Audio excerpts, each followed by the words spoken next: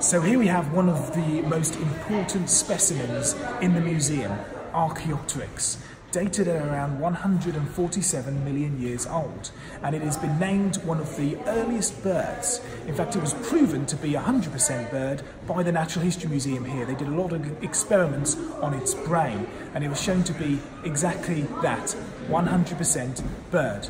But what about the dates and what about the ages? What can we learn from them?